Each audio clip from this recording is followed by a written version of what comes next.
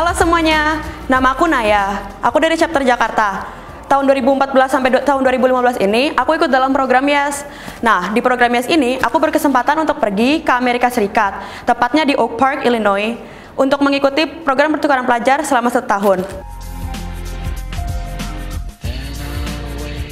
Nah, di Oak Park itu komunitasnya sangat beragam karena Oak Park deket banget sama Chicago, which is a big city in the United States.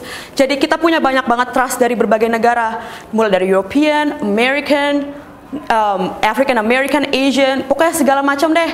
Nah, karena alasan itu juga uh, sekolah aku gede banget. Ada 3.200 anak, jauh lebih gede daripada sekolahku yang di sini, which is cuma paling 600 anak. Nah, makanya berada di sekolah gede, aku dapat kesempatan untuk mencoba berbagai macam kegiatan yang belum pernah aku rasakan sebelumnya. Contohnya nih ya, aku dapat dapat kesempatan untuk ikut tujuh pelajaran dalam satu semester.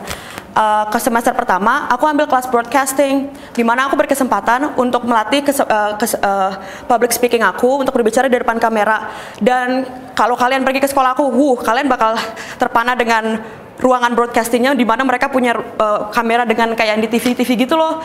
Jadi uh, udah gitu semester 2 aku banyak ikut dengan kegiatan lainnya seperti spoken word which is um, like a poetry club. Jadi aku berkesempatan untuk uh, berbicara tentang puisi dan segala macamnya gitu.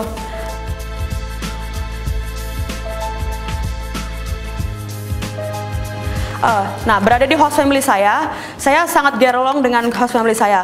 Contohnya dengan host sister saya. Kami kalau malam-malam nih ya, suka nonton TV series atau segala macam dan dengan host saya, uh, beliau juga sering membantu saya untuk mengerjakan PR dan segala macam.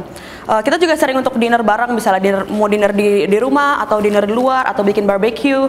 Dan uh, rasa kekeluargaannya tuh terasa banget. Saya berasa punya rumah rumah baru di negara lain. Uh, ini jadi hal yang tidak pernah saya sadari sebelumnya karena saya tidak pernah berpikir sebelumnya kalau saya bakal punya rumah baru di negara lain dengan orang yang tidak pernah saya kenal sebelumnya.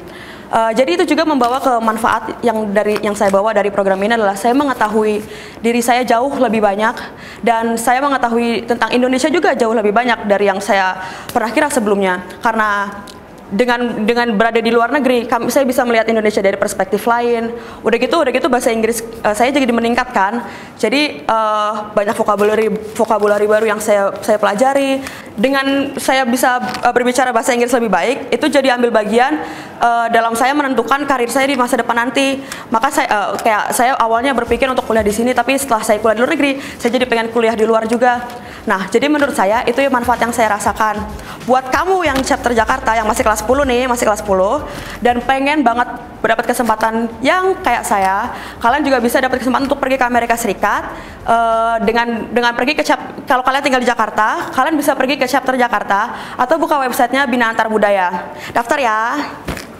Terima kasih ya yes, program, terima kasih Bina Antar Budaya.